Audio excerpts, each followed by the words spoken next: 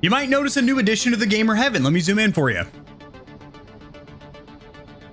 Yeah, that's a PS5. And you're thinking, Kevin, you already have one of those bad boys in the living room. You've had it for almost a year. Well, now I have not one, but two. So in the first part of this video, I'm going to try and justify to myself and the gaming community why I own two PS5s. Then I'm going to proclaim that people that say spray painting doesn't look good have no idea what they're doing. And I'm going to walk you guys through how to spray paint plastic components, whether that's controllers, PC cases, PS5 flaps.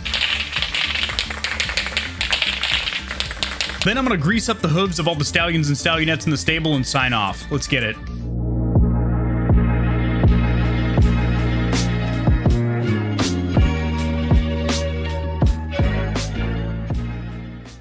Of all, Kevin, you sick son of a bitch, why do you need two PS5s? Well, first of all, I didn't actively seek out this PS5. It was kind of just dropped into my lap, kind of like my other PS5. These are both from the Navy Exchange, just on my lunch break, going in there to maybe get a Subway sandwich, look at some TVs and some headsets, and the little lady that works behind the counter says, Honey, honey, we have PlayStation 5s in. And when you get a PS5 begging to be purchased by you, especially when it is under MSRP, $480, not $500 like out in town, and it's tax-free, you don't say no. I'm not scalping this thing or doing any nefarious shit with it. I'm actually going to be using both of these PS5s. One of them is AK-40 Kevin's, one is the Gamer Heavens. One is my personal console for casual co-op play in the living room and whatnot. One of them is going to stay in this room and be specifically for when products get sent out, such as side plates, NVMe SSDs, and eventually one of these is getting fully customized with an overclocked APU and a water cooling loop. And there's a good chance that I screw up and completely destroy PS5. I don't want to be PS5-less, so it's good that I have a backup. Not to mention the one that is for Gamer Heaven, i.e. doesn't leave this room, is going to be connected to my PC via a capture card so I can play PlayStation 5 exclusives and actually stream or screen record them for YouTube videos. If it sounds like I'm trying to justify buying two PS5s, it's because I am. One year after launch of the PlayStation 5 and Xbox Series S and X, a lot of consumers, a lot of gamers, still can't get their hands on these bad boys. I will say I didn't take this out of the hands of a child for Christmas or anything like that. So unless somebody had base access, i.e. a military ID or was a dependent, and again, I wasn't planning on buying this bad boy. I just went in my lunch break and the little lady called me over. She basically forced the damn thing on me, you know what I'm saying? But also from a content standpoint, there's a couple of uh I'm not going to spoil anything, but little witty videos that I'm going to do with two PS5s. Awkward flexes and stuff. Ah, stretch first. You got to make sure that you're limbered up before you unbox the PS5 because you will pull a hammy from excitement. Now, this is very interesting to be unboxing this console again. You can fuck off. Oh my god, I'm holding a PlayStation 5 right now. I need to take just a minute. I, this, this, I, I am, I haven't been this excited to unbox or unwrap something in such a long time. This being so sought after and so hard to get. For one, I already know what's in the box now, but this is a very, very hyped up consumer good, a very um, sought after piece of electronics gear. So it's still exciting to unbox. I'm still stimulated right now. I see, I see. I, rem I remember. It's all coming back now. You have a good little grab handle here. This is a security mechanism, so on your way to the parking lot, you most likely will get jumped, so you can actually use this to swing the box around to fight off the crowds. Show me what you got. Show me what you're working with. So this top box right here has your accessories. I believe there's a uh, DualSense controller in there. Now, when you buy a DualSense controller, like an extra one, whether you get the Cosmic Red or the uh, Satin Black, it doesn't come with a USB-C cable, so you're to need to keep the one that comes with the PlayStation 5. There she is. Hey, baby. Aren't you a bad girl?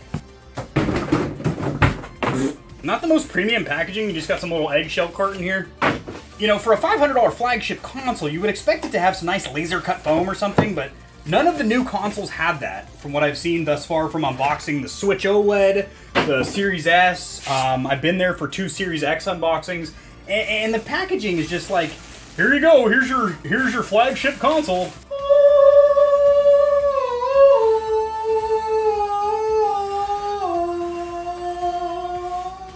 All right, so she's a little bit dirty, just like the first one was. There's a little bit of uh, residue here on the piano black section. section? Right here on the piano black section. Now, I will say this is going to get fully customized. Neither one of the PS5s are going to look stock whatsoever. And eventually, this probably is the one that is going to get uh, like a custom case and water-cooled and overclocked APU and a bunch of other bullshit that's like really uh, intense. Honey darling, you got your quick start guide. I don't know how to read, so I'm going to go ahead and discard that. You have a safety guide here telling you not to use your PS5 like a frisbee, not to choke out your significant other with the power cord or anything like that. Uh, you have a DualSense controller over here, which is simply a technological technological marvel. I've already talked about the DualSense extensively, but basically you have haptic feedback, adaptive triggers, and a built-in microphone. Three features never seen in a, in a uh, controller before. All right, now this is the stand. It is required to use this whether you're vertical or horizontal um, because you will get better cooling from your PS5, not to mention, well, Sony says to use it, so it's probably for a reason. You have an HDMI 2.1 cable here. You will need to use a high-speed HDMI 2.1 cable and have a TV that is uh, capable for that technology to make sure that you can utilize 4K 120. Granted, very, very few titles are currently utilizing 4K 120. Most next-gen games that we've seen thus far have been 4K 60. And here's your USB-C cable for pairing and charging your DualSense. I've got to say, I, I don't think I've ever mentioned this before, but I'm more of a fan of how you pair a controller to an Xbox One or Series by pressing the sync button button on the top and then pressing the sync button on the console instead of having to grab yourself a cable and then plug it in, you know, tether to the front of a PS4 or 5. I think Microsoft's pairing method for controllers is better. Not to mention, it is a better wireless means of data transfer because Xbox uses a dedicated 2.4 gigahertz wireless connection. PlayStation uses Bluetooth 5.0, which is less than ideal. Generally, Bluetooth is a kind of slow means of wireless connectivity, but I will say, however they utilize it with the black magic that they work on the operating system, it actually does feel very fluid and I've never noticed any kind of input lag or delay playing on a PS4 or 5. I'm gonna be shooting some B-roll right now, but basically you've got little PlayStation face buttons on the inside of the flaps or side panels you also have some face buttons right here. You have two USB 3.0 ports in the back. You have a Ethernet port, which is rated for gigabit. Uh, you have an HDMI 2.1 slot, and then you have your AC adapter plug. You do also have some fins or vents in the back for cooling, and those do extend all the way around the top of the console. You have a USB-C 3.0 port in the front, as well as another USB, I think this one is a 2.0. You do have your disc eject, if you're not on the digital-only console, and a power button right here. I personally advise against the digital-only console. I have made an entire video about it in the past, but just to summarize, there's a class action lawsuit against Sony because they are charging 30 to 60% more for games than buying a digital code to redeem in the store or a disc. And as of late 2018, the only place to buy digital games for a PlayStation 4 or 5, and well, there's a whole digital only console now, um, is from the PlayStation Network. You no longer can redeem codes that you got on like Amazon or Walmart or anything like that. That is why there's a class action lawsuit. There's also one for thumbstick modules on the DualSense because Sony went with the same company Nintendo goes with for their Joy-Cons, and those are notorious for having savage stick drift. I know a little off topic for unboxing a PS5, but just good to know uh, who you're getting into bed with. You know what, Stallions and Stallionettes? This bad boy is looking a little bit stock. It needs to be customized. So I'm gonna do the only logical thing here, almost almost spray painter. Now the hardest part of this entire process is gonna be getting these side panels off because the first time you remove them, and this is obviously a brand new console, it's in there pretty good. Now I have installed two different NVMe SSDs onto the other PlayStation 5 and taken the panels off to put on uh, like a vinyl wrap.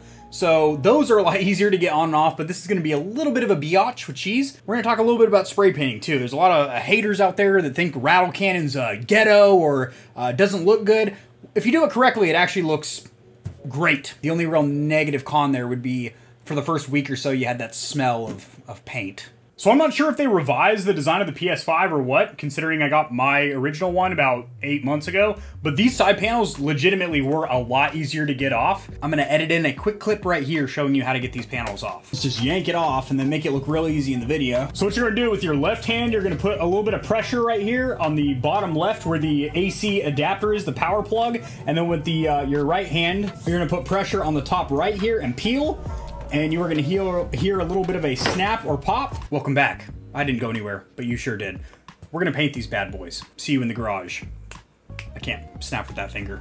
This one I can, though. Hey, what are you guys doing over there? Come on over.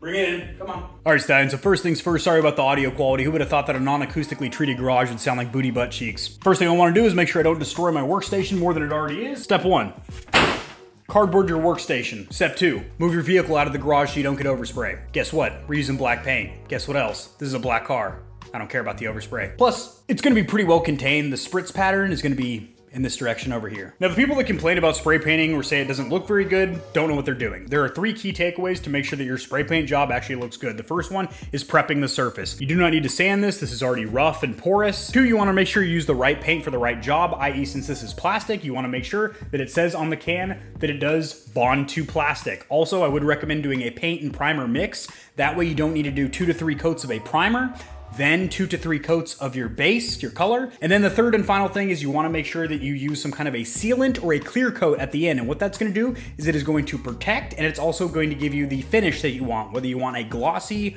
reflective surface or you want a flat slash matte look. So again, if you prep the surface correctly, that means making sure that it's sanded if that's required, taping everything off with masking tape that you don't want painted, and then you use the right paint for the job four to six inches away in a fanning pattern after shaking the can for 60 seconds. This sounds way more complicated than it really is. I'm gonna walk you guys through it. And then use some kind of a sealant, which is overkill. I would use a clear coat, which I have two of them over here. We've got gloss and we've got matte. Now I'm gonna go with matte. I think matte is going to look really good with a nice flat black panel. So I'm either gonna go with this flat black or, as you can see, I have a lot of paints up here. I used to build custom controllers, pictures on screen here, and I would hydro dip and I would also spray paint. I did actually use a pneumatic, i.e. air powered spray gun for a while, and I was getting the same results for like six times the price as when I was just spray painting. This dark gloss gray over here would look pretty sick. You wanna make sure you shake your can for at least 60 seconds. You wanna hear that ball bearing rattling around in there, especially if it is a paint and primer like this, because there's a lot of different chemicals that need to be mixed up in there. Be thorough with it.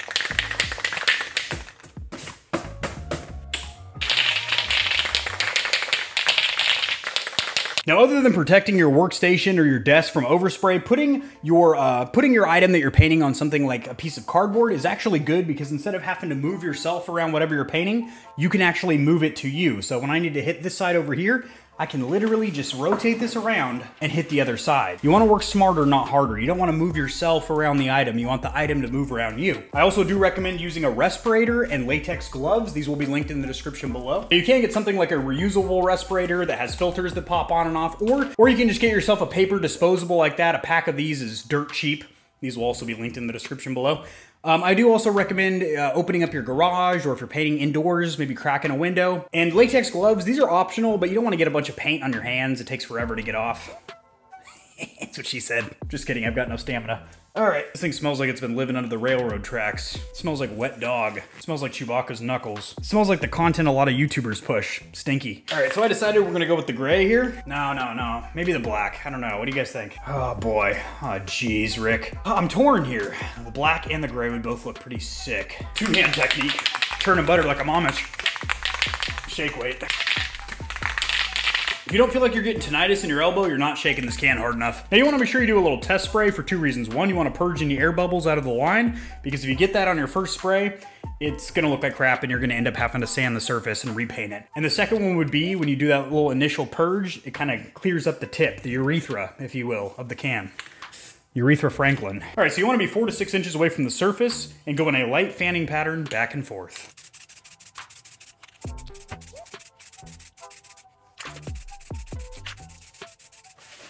So with your first coat, you don't have to get full coverage. As you can see, there's still the base color, which is white, bleeding through there. That's completely fine. Basically, the first layer or first coat, what you want to do is make sure that you get a chemical bond. And then from there, the next two to three coats of your base or color is going to give full coverage of the new color, which in this case is matte black. And then we're going to do two to three coats of a clear, which again, we're gonna go with a flat matte. So when you get a PS5, you have to use the stand. It is recommended by Sony.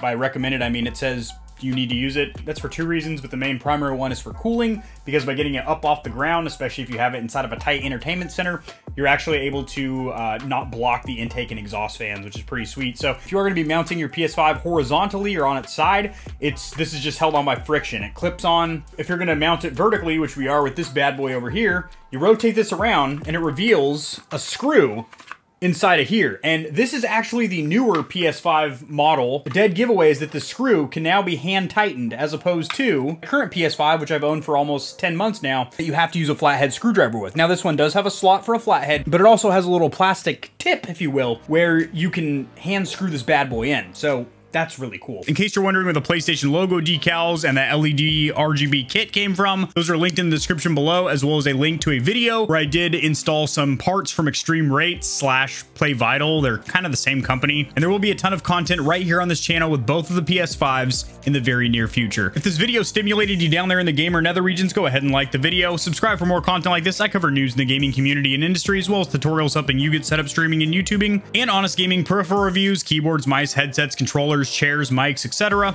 And I'll see you tomorrow. Peace.